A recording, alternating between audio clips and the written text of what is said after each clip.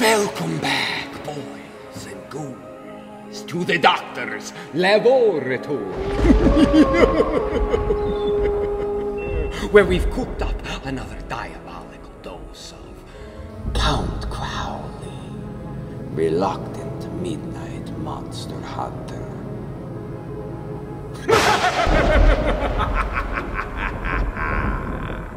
Things are getting hairy for ghosties with the mostest. Beloit, Missouri's KSKB TV's own Jerri Bartman. Be sure to pick up issue 2 at your favorite comic shop.